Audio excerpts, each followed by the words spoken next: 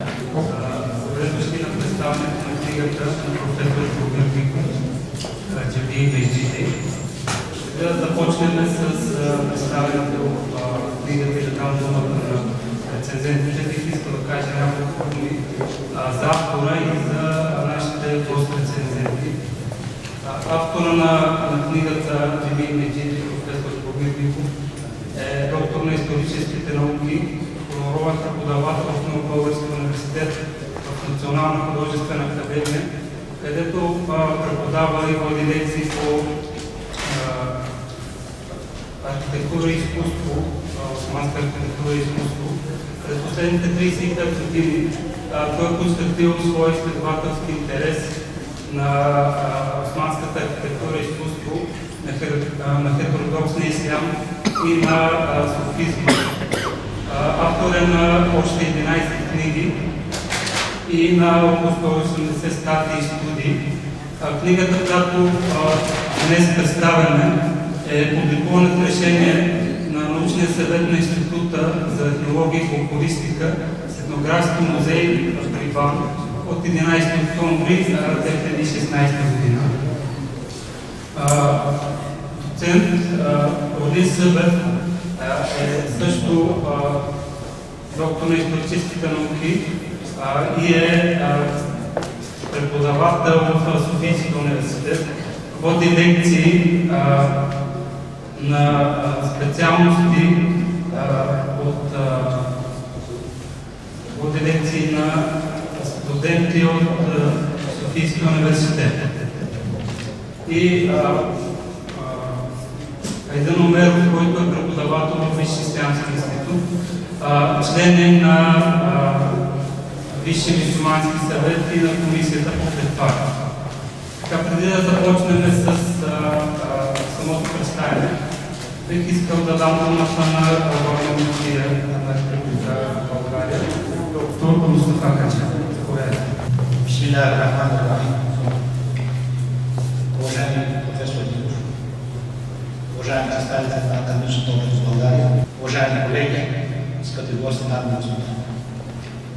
Преди всичко, позволете ми да разкажа благодарността към всеки един от вас по-отделно, за това, че е дошъл на тази представителност на книгата, представена на книгата, която по своята същност, според мен е първа в България. Най-малко аз не знам да е такъв материал, такъв труд. Затова искам да изкажа специална благодарност на професор Димов. Мусулманската култура в България е много малко изследвана. Според мен е, необходимо и добре да се направи всичко, което е по силите ни, да продължим в тази насока. Затова, защото е, ние като мусулмани в България сме наследници на тази култура. И факта, че не се знае за нея, факта, че не е изследвана или не е изследвана, води там, че от една страна тя се и дуби, от друга страна, това създава просто в обществото на България. Принцип, хората се страхуват от това, което не знаят. Затова подобен труд ще допренесе не само да се доопознае мусулманската култура, мусулманското наследство в България, обаче ще допренесе и до познаването на мусулманската общност в България от страна на мусулманите, което респективно води до доброто съществувство, което не е нещо ново за нас. Тази насока искам да кажа също, че доброто съжителство не е даденост. Ако ние сме наследили от нашите бащи и от нашите деди, наше задължение е да продължим от тук нататък, да го съхраним това добро съжителство, това добро отношение между хората. Защото всеки един въпрос, най-вече отношението между хората, най-вече културната и религиозната дейност, представляват, ако мога така да го опиша, все едно е, ние се опитваме да избутаме един валяк едно наклонено, наклонена плоскост. Ако ние спрем да опутваме, то от само себе си започва да се връща назад. Така че ние трябва да работим постоянно в тази насока. И това не е патент на никого. Това е право значение на всеки един, който е част от това общество. Когато работим в тази общност, ще има добър успех. Както за нас, така и за цялото българско общество, към което аз мисля, че всеки един от нас има задължение, защото в крайна сметка човек, когато влезе за хората и смени, има смисъл в неговото същество, има смисъл в неговия живот. Още един път искам да благодаря за този труд. Искам да благодаря на рецензентите, на всички един, на всеки един от вас отделно. Желая ви приятна на тази вечер, да сте живи и здрави, приятна вечер. Бих искал да дам думата на първия рецензент, заповядайте. Уважаеми хора на съдителите, първо бих искал да благодаря за любезната покана да представя новата монография на професор Миков, която безспорно е приносна в академичните изследвания в областта на османската култура в България. Тази монография на професор Миков е всеобхватно и задълбочено проучване на основна част от запазената до днес България, джеми и месджиди.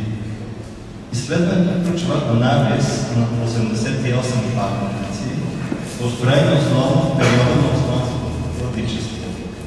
Немалка част от тях, това е важно се подчертае, имат статут на паметник на културата от национална или някои от тях от местно значение, което само по себе си е достатъчно основание да се напише такава книга.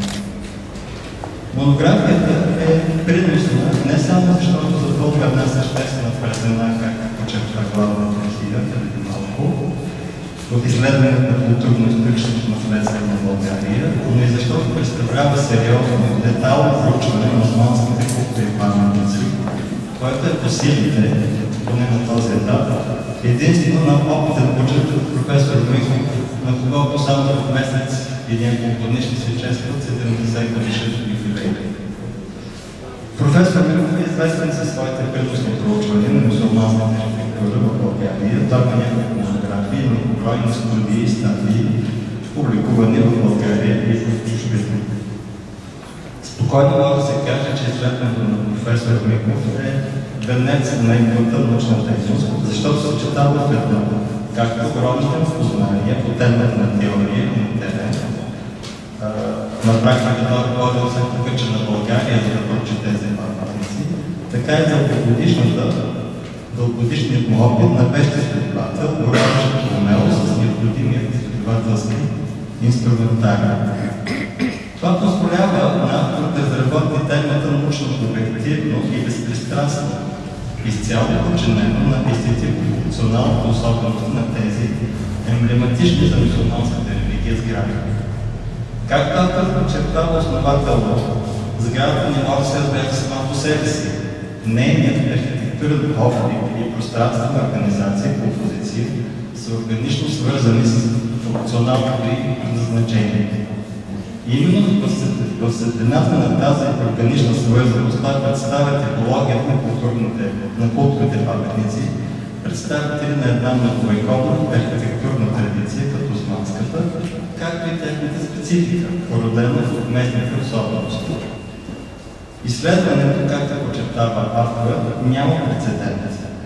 Той е разделен на три глави. Първата е посветена на интериора, като автор подчертава функция на религиозна доминанта. Тази глава се разгледа на основните елементи на интериора на храмовете, като михраб, минбер, кюрс, мъхвил, таван, балкон, колони, ниши и шкафове. Авторът не просто описва характерните особености и специфики на тези елементи, но представя техния происход и исторически развой. Така ние разбираме, че първообраз на най-важният интериорен елемент, михраба, е копието. Не е случайна и лексикалната връзка между разните понятия за ниша, михраб и копие, харба. Пророкът Мухамед правил молитвите си, обърнат с лице към копие, което той завирал пред себе си първоначално, посока към Ерусалим, а после към светичната Карабар в Мека. При преустройството на джамията в Пророкът Медина в началото на 8 век вече била оформена и първата михрабна ниша. Тя става образец за всички изградени по-късно мусулмански храмове. Но очевидно връзката с копието не е забравена, защото, както автор постановява, живописното украса на михрабите на някои джемия в България съдържа изображение на копия. Така че, когато един молещ се или посетител в случайна джемия види изображение на копие в михрабната ниша, той вече би знаел защо точно това изображение се намира там, ако чете монографията на професор Капинков. Често, пак не случайно, в михрабните ниши има изображение на Каба, защото тези ниши са не само ориентирани в тази посока, но и символизират светилището Мехраб. Минберът е вторият по важност на интериорен елемент. Как автор подчертава происходът му, този вече е пряко свързан с пророка, който провеждал проповеди, покачен на пълно, а после на малка дърна платформа с 2300 палата. Последствие стъпалата на платформата са увеличили, за да достигнат оптималния брой 17, а в джамите в България този брой варира между 8 и 12. Авторът описва подробно разномерност на материалите и декорация на, на трите конструктивни части на модера, входа, стълбата и погребът с платахилна форма, поддържан от колона. Професор Милко подчертава, че макар и функционално минбера да се използва по-рядко от михраба, обикновено в петъчните дни, при петъчната проповед, той има особено богата декорация, която го налага като един от основните естетически акценти в интериора на мусулманския храм. След това професор Милков разглежда подробно функционалните и естетически особености специфики на интериорните елементи, кюрс, това е трон, който мисломанският свещеник чете тълкува Корана или провежда беседи с вярващите. Махвила, издигната на колони платформа или ложа, предназначена за султана в султанските джамии или за милисина в по-обикновените джамии, балконите и колоните, които ги свършат. Като балконите обикновено са предназначени за жените и ниши и шкафове, които обикновено са използвани за съхраняване на съдъче с коса в вратата на пророка, но осъдителни на книги или, както знаете много добре, на обувки. Авторът се спира специално на богатата орнаментация на дъщините тавани на някои джамии, основно тази орнаментация представлява розети, както и на застилането на подовете, и тук да подчертава, че това застилане цели не само да се създаде удобство за молещите се, но и сакрална чистота на интериорното пространство. Втората глава разглежда екстериорните особености на джамиите, определени като от автора като архитектурна доминанта. Авторът се спира първо на въпроса за избора на място за строителство на джамия и подчертава, че повечето джамии на в България са издигнати на незастроени преди това място, а някои върху място на предходна сакрална сграда, обикновено църква. Изграждани са и джамии и нещини, че често без покрив и съчетани с чешма, така наречените на мазбияк, извън населените места, които осигуряват място за молитва на пътници или обработващите околните земеделски площи.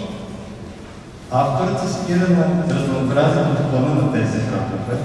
Това може да бъде правоъгълен, квадратен, Т, план, като подчертава, че най-разпространен е квадратният план. Корпусът на градските и петъчните джемии най-често е каменен, а на кварталните селските – куфлен. Тези, които са извън населени места, обикновено е търгът. Използваме основно клетъчна изделия и градеж с тяло и камен. Покривните конструкции са куповни, които могат да бъдат видими открити или скрити, така наречени цвят купол, а също могат да бъдат и обикновени скатни покриви. Професор Мирков отделя специално внимание в книгата си на влиянието на византийската култура и архитектура върху мусулманските храми в османския период и откроява един дълъг списък от 20 показатели, свързани с плана, конструкцията и градежа, които именно показват това влияние. От друга страна, той се спира на специфичните конструктивни елементи, които се срещат при Кошово, джамия в Секистъра, джамият на Осман Пазван в Видин, джамият Ибрахим Паша в Разград, и други.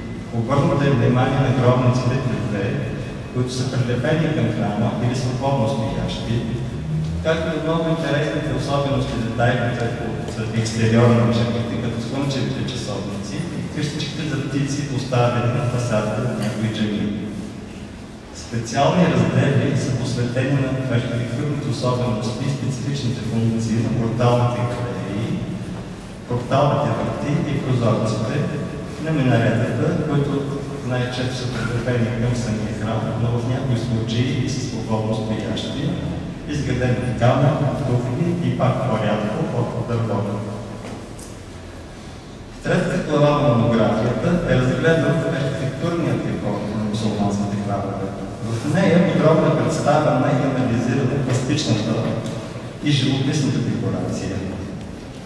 Пластичната декорация включва декорация от дубли, камъни гипсови моменти и графика, докато живописната включва фризове с плурални и геометрични мотиви, такива каквито може да видите в залата, специално в джамията в Самоков.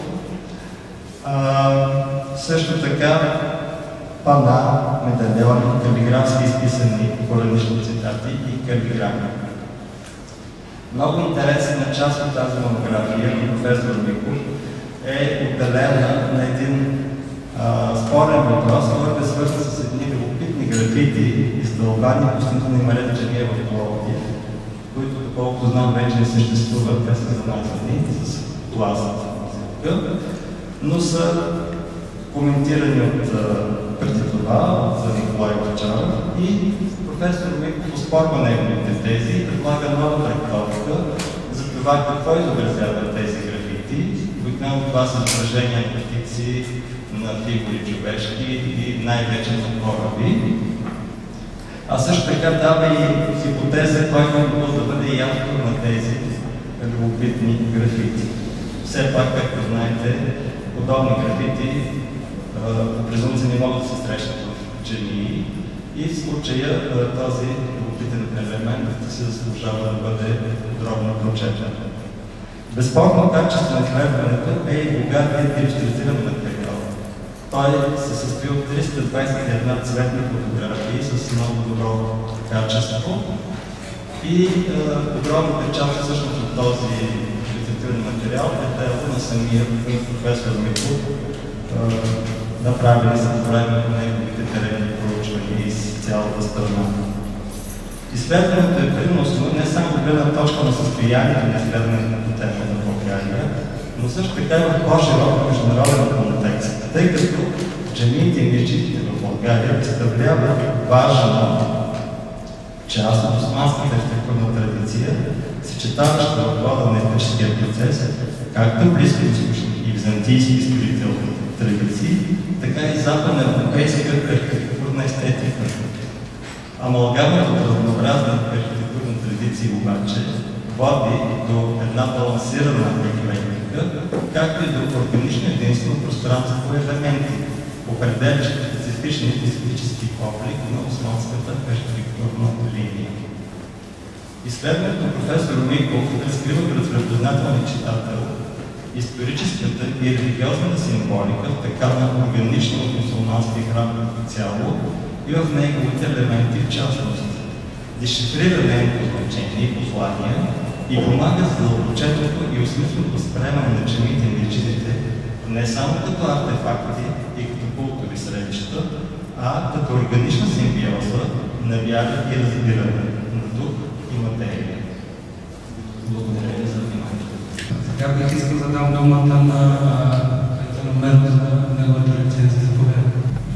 Уважаеми господин главен мufti на Република България, уважаеми господа заместник главен мufti, уважаеми гости, за мен е чест и удоволствие да присъствам в днешното мероприятие, което е организирано главно мufti с мусулманите в Република България. Сигурно за тази причина за първ път виждам в представяне книга толкова много хора, защото е главно мufтийство. Благодаря за присъствието на всички. Радвам се, че ми се падна честа да представя този прекрасен труд на професор Любомир Миков, Джемия Мисчите в България. този труд, който се отличава от подобни публикации, от подобна тема, която разглежда комплексно следните теми, интериорно устройство на джамиите, екстериорна специфика и архитектурния им декор. Както е известно, България е първата държава, която попада под османско владичество и последна, която се освобождава от нея. За кратко време мусулманското руското население започва да преобладава. Поради тази причина османските архитектурни паметници биват широко разпространени в България. Знаем, че те наброяват 3339 на брой и над 2000, които са джемии и месчини. В този труд професор Любомир Миков се разглежда много от емблематичните и второстепенните джемии и месчини, които оформят цялостна картина на джемиите и месчините в България. По принцип, преди това всички разгледат емблематичните джемии, но цялостен поглед към джемиите и месчините за първ път се прави. Трудът е разделен на първа глава, която обхваща интериорът и религиозната доминанта като михраб, мимбер, кюс, махлит, балкон, колония, ниши, шкафове, тавани, балкон. Втората глава е екстериорът и доминанта, корпус и покривни конструкции, портални гарени, врати и прозорци и минарети. Трета глава обхваща архитектурния декор на джемиите и месчидите, като пластични и живописни форми, калиграфия, тухлени каменни гипсови орнаменти, стенописи, орнаменти, калиграфии и графити. Отделна част, в която са приложени иллюстрации, снимки и опис на иллюстрациите на джемиите, месчиите и отделни елементи, които са изследвани в книгата. Така също е отделена част, отделна част е отделена за турско-арабско-персийските думички вече. В първа глава, глава Михайлът се разглежда подробно и се описа като един от най-важните елементи интериора на джемията, без която не може да има джемия или месчит. Изследвани са различни видове михраби и орнаменти, заедно с, с орнаментите, които са изработени от камък, мрамор, тухли и гипси. И с промяна на времето наблюдаваме как орнаментите в михраба се променят с рисуване и иллюстрацията. Функцията на михраба е разгледана подробно и се споменава раз, разнопосочни мнения въпроса. А, виждаме как михраба се свързва с юдаизма и с християнство, така и с отвъдното, така и с акустиката на джемията и че михраба е предоциран образ на храма.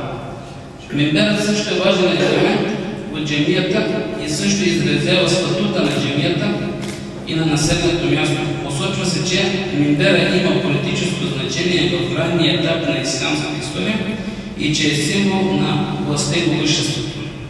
Мимберът също играе важна роля за превръщането на определени населени места в градове по време на франско-османското управление. Друг символ на интериора на джамията е кюрса, който се среща най-вече в петъчните джамии. Махфи е ложа, която определена за медицина и за султаните, които се определят като хюнкер махфили, който бива използван още от времето на праведните халифи от времето на Хазрети Осман, след убийствата на, на, на Хазрети Омар Радиаллаху, след убийството на Хазрети Омар Радиаллаху, виждаме, че по времето на Уяйта, Абасите и другите династии, в последствие в Османските династии, Махвила се използва за сигурността на отбраницата. Единствената джемия в България, която има султан Махвили, е Джумая джемия в Пловдив. И ние може да се гордеем, че имаме една джемия с а, такъв специален елемент в джемията. Колоните на джемиите и са конструктивни елементи с поддържаща функция по отношение на балкони, куполи и тавани на скантите, джеми и месчити. По същия начин подробно са разгледани нишите и шкафове, които са били предназначени за съхраняване на шериф, за, за съхраняване на книгите и за поставяне на обувките на. Във втора глава се разглежда подробно видовете покривни конструкции на джемиите, видовете портални галерии, врати, прозорци и минарета. Изследват се видовете минарети, които са повлияни в арабската и азиатската архитектура и елементи, които съдържат минарети като кайде, пабуч, гюрде, шерете, пете, кюляв и арен. трета глава се обобщава архитектурния декор и се разглеждат различни живописни форми и отделни изяви в областта на калиграфията, посочват се различни разликите между иранската селджутска и осман, османския декор на джемиите. Разглеждат се разли- различни орнаменти, които са свързани с различни периоди. и се посочват различните методи и декоратори, които са повлияни от тяхната привърженост в определени исламски течения. За пример се посочва месчида в село Вран и Кон, който използва най-различни иллюстрации, които нап- на- напомнят, че човека принадлежи от шиитско, течение или от бекташитско течение. Като цяло, може да обобщим трудът на професор, Драгомир Миков, джемии и месчиди в България, разглежда цялостно видовете джемии и месчиди, допринася една обща картина за джемиите и месчидите в България и един голям принос за османските архитектурни паметници в България. Е, Виждаме, че снимковия материал, който е предоставен в книгата, е продължи, събран в продължение на 30 години и този резултат на този труд днес, днес виждаме пред нас имаме такъв прекрасен труд и а, следване на дългогодишно изследване. Не мисля, че в скоро време ще има подобен труд или предишните не мога ги сравним, защото бяхме разгледали в Исламски институт подобни трудове, но както бяхме споменали, всеки един беше си избрал определена джемия, като Муради джемия в Плодив, като Толбупа джемия в Шумен и, и Мактул Ибрахим Паша в Разград, но цялостен поглед за първ път изследваме архивния труд. А благодарим за този труд на професор. Благодаря. Сега бих искал да дам думата на самия автор на книгата, професор Любомир Миков. Уважаеми дами и господа, най-напред искам да благодаря на ръководството на Муфтийството, в лицето на главна муфтия господин Мустафа Хаджа, на заместник главна муфтия Видат Ахмед и на Джамал, не му знам име, за организацията на това събитие. Благодаря и на всички присъстващи, бих казал дълбоко поклон на всички присъстващи, да дойдете тук на тези високи температури, което си биоизли. Благодаря и на редакторския екип на издателството Калбан, което тук се представя от а, дизайнера на издателството госпожа Дана Мицева, Дана Стани, много важна фигура. И от а, редакторката, една от редакторките на издателството, господа госпожа Таня Мелмет.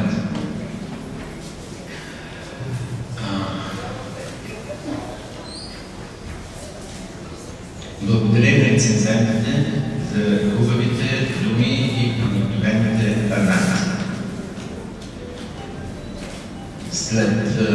един месец, август на 17, аз навършвам 70 години. И смятам, че тази книга е един много хубав подарък, който съм направил. Книгата е хубава, хубаво издадена, вие ще кажете как е написана. Но за мен е един много скъп подарък и много специален подарък, защото е посетих на моята сестра Нели, която също тази година напусна този свят. И тези, които ме познават, знаят колко близки бяхме с нея.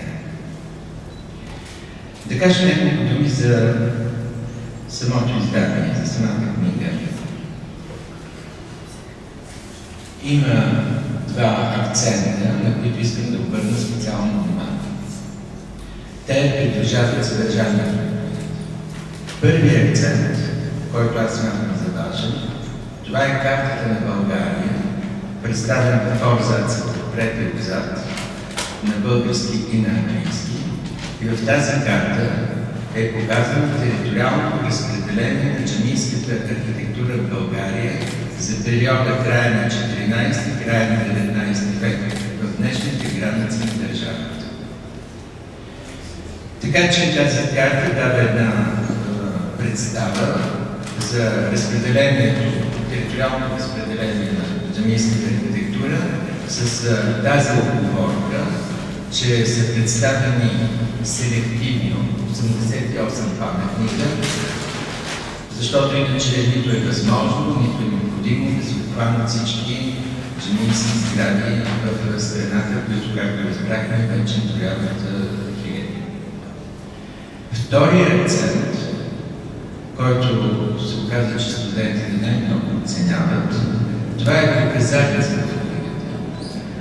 Този приказателство е в мисъл с две страници и половина и той съдържа пет компонента. Мястото, където се намира сградата, названието на самата сграда, названието на самата джамия, датата на нейното построяване, която може да бъде конкретна или културно-историческия статус на джамията и страниците, където се коментират в книгата. Смятам, че от всичките тези елементи най-важен е културно-историческия статус, който показан. Тоест, изтъкнато е сградата, дали сградата има регионално, местно или национално значение. Оказва се, че от джамиите, които се разгледат в книгите, 12 са от национално значение. Защо това е важно? Защо го подчертавам? Защото това е оценка на държавата за османското културно наследство в страната. И смятам, че това трябва да бъде отчетено специално. Бих споделил няколко мисли и във връзка с структурата на изследването. Първо, нека да отбележа, че то е интердисциплинарно, което му придава изключителна сложност. Много трудно се пишат текстове, когато те са интердисциплинарни, с информация от различни науки. Но другото специфично нещо в това изследване, това е метода, по който е представен материал. Когато трябваше да, когато реших да започне работа по тази тема, аз бях много болен и в продължение на две години боледуването ми продължи изключително тежко. Това е една екстремна ситуация, която ситуацията е екстремна, човек мисли бързо и гадно. Така се получи и при мен. Аз реших да смена статуквото на подобни изследвания и да намеря да потърся друг по-ефективен и по-оптимален начин за представяне на османското архитектурно наследство в български език. Обикновено книги с такова заглавие като моята представят паметници, най-важните, най-представителните паметници по векове. И една огромна част от така наречените второстепенни паметници остават зад кадър. А там, при тези второстепенни паметници, има невероятно интересни детайли и особености. И по този начин е ощетение е читателя. Преди известно време това статукво беше разчупено с обратен подход. Появиха се автори, които тръгнаха не от паметника към вековете, а от вековете към паметниците. Такъв е, например, такова е, например, изследването на Годуин, който разгледа преди няколко десетилетия османската архитектура на Балканите, именно по този начин, следвайки вековете. Това е едно изключително сериозно представително изследване, но то има един много важен недостатък. В това изследване има всичко, но няма ред, няма система, няма, а, няма това, което като потърсиш, веднага ще го намериш, въпреки че изследването е снабдено с много добри индекси, които и, и, и те не помагат да се ориентираш в огромното количество информация, която е получена в рамките на един век, примерно да кажа. Затова аз реших да подходя по друг начин, нов начин, нов метод, както казах, по-оптимален, за да мога да обхвана по-голям брой паметници и да бъдат представени по някакъв друг начин. И затова приложих именно това, което вече се изтъкна. Започнах изследването си с разглеждане на най-важната част от джамийската сграда – интериора. Защото интериора е сакралната част от джамията. Без това, което е в интериора, не може да има джамия. Джамия без миграта не е джамия. Не може да има миграт да е джамия. Затова аз тръгнах от вътре, за да премина след това външната част в екстериора, където са елементите, които определят архитектурния облик на сградата, т.е. елементите, които правят от сградата джамия. Това, което обединява интериора и екстериора, вътрешната и външната част на този тип сгради е архитектурният декор, който аз лично също бях изненадан, когато се прегледах фотоархивите, от богатството, което съдържат художественото богатство, което съдържат тези паметници. Аз мятам да спра до тук, за да ви дам време за въпроси, ако имате, и изказване. Благодаря за вниманието.